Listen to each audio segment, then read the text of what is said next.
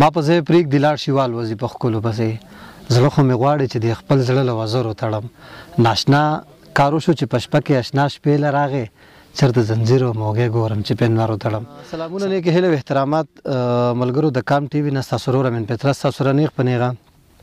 ناست یم د اسماء اخلاص سره د اسماء اخلاص سره زمونږ تفصیلی مرکه مخکې یو ځل شوې ده خو بیا هم د دوی په بونیر کې د یو مخکتنې پروګرام را روان دی د هغې په سلسله کې د دوی سره ناست یو مشوره پې کېږي نو راځئ د هغوی نه به ستاسو سره څو تپوسونه هم وکړو د دغه پروګرام په حواله او څو شعرونه به ترې هم ريکارډ کړو. اسماء اخلاص په خپل پروګرام کې درته پخيرالۍ او هرکلی وايم. ډېره زیاته مهرباني چې تاسو راغلئ. بله دغه زما د پروګرام لپاره تاسو کوشش یو یو سټرګل روان کړو چې نه بونیر ته هم تاسو مطلب پروګرام ته راشئ هلته به تاسو له د کتاب مخ کتنه وکړو نو زما لپاره د خوشحالۍ خبره ده بلکل به زه بونیر ته هم ځم تاسو به هم راځئ او زموږ چې څومره هم ملګري دي شاعران ملګري هغوی به هم هلته راځي. انشاءالله ضرور. اسماء دا پروګرام په بونیر کې په کومې ټولنې را جوړ کړی دی ما بڼ پښتو ادبي جرګې والا دغه پروګرام را جوړ کړی د دې تاریخ خو له تاسو اوټ کړی نه دی نه جی تاریخ به ان شاء الله ډیر زر اناوس کوم ملګرو ته زما د خپل پیج د لارې هم وایم او تاسو به هم شریک کړئ به ملګرو سره ډیره زیاته مننه ملګرو دغه پروګرام انتظار کوي ان شاء الله تعالی په ورځ دوه کې به دغه اناونسمنت هم شي چیرې دا پروګرام په کوم ځای کې دی او په کوم تاریخ باندې دی وخت باقی نه خراب ورازو د اسماء اخلاص نه سوشیر نه ورو چې بی ګناي په انګار سيزي دا بلا سوک چې خپل یار سيزي چې بی ګناي په انګار سيزي دا بلا سوک چې خپل یار سيزي احساس نشته چې زمرم ور باندې احساس نشته چې زمرم ور باندې زما عکسونه نن په جار سیزي هاي هاي احساس نشته چې زمرم ور باندې زما عکسونه نن په جار سیزي لري چې خال دا ننګي د پاسه ما به یو ورځ دغه رخسار سیزي لري چې خال د اننګي د پاسه ما به یو ورځ دغه رخسار سیزي ما په نکونو پر جانان لیکل نن پسیزي هغه چینار سیزي ما په نکونو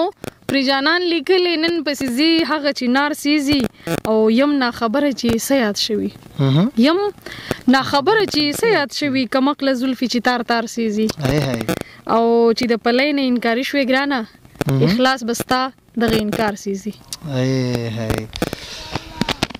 ملګرو دا و اسماء اخلاص د دوی سره تفصیلي مرکه زمونږ شوي هم ده او ټیم په ټیم مو سره به انشاءالله دغه ناستي هم نوري کیږي د دغه پروګرام ورځ به تاسو ته ان شاء الله تعالی ډیر زر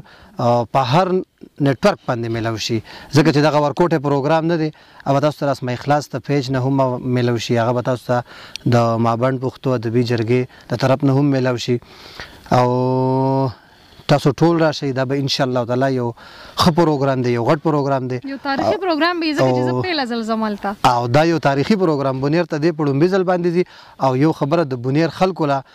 دا په کار ده چې دا خپله مینه بونیر ته دروړي نو په کار ده چې د بونیر خلک دله دومره مینه ورکړي چې له دنه هغه خپله مینه هم ییر کړي. چې زه په بیا بیا راتلو باندې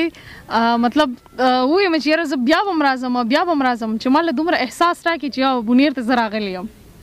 بس ملګرو دغه خبرې تاسو په خپله واورئ زما پکې دوباره د دورولو ضرورت نشته دی. هم دغه خپرونه هم په دغه ځای راټولوم اسما که خپلو مینوالو ته څه میسج ورکې امین صاحب چرته چې اوسې ښاد اوسې آباد اوسې بریالي اوسې او چې تاسو راغلی ځکه چې میسجونه هم دغه یو میسج دی چې مینه وکړي او په بدل کې هیڅ مغواړي نو تاسو پر اتک باندې هم خوشاله شوم بل هغه وخت تاسو سره خبرې وشوي لیدل شو ښه وختونه مو یو بل سره سپینډ کړه دا غټه خبره ده او ټول مینوال دې راته بریالي اوسي سره ستاسو مننه. ملګرو دا واسمه اخلاص چې مونږ او تاسو ترې شعرونه هم واورېدل د پروګرام په حواله ترې خبرې هم واورېدلې چې چرته هم یې بریالي اوسئ په خپلو دعاګانو کې مې یاد ساتئ د الله فامان.